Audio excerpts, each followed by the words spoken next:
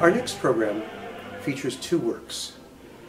In a way, the program is a bit of a reminder that we've celebrated in the past season the 10th anniversary of the horrific events of September 11, 2001. And so to that end, we are performing John Adams' piece on the transmigration of souls, in which various elements of the 9-11 tragedies are brought literally to life. The work is for full adult chorus plus children's pro chorus.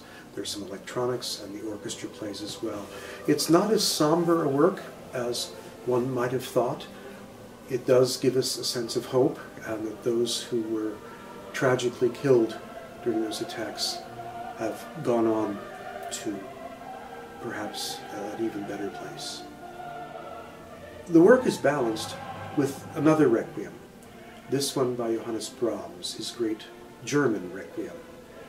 The reason it's called German is exactly that. The text is in German, basically taking the liturgical words that we all know from the Latin and translating them into German.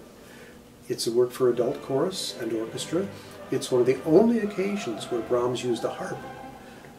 It has two soloists, a soprano who only sings in one movement and a baritone who sings in two. That makes it somewhat similar to the Fauré Requiem.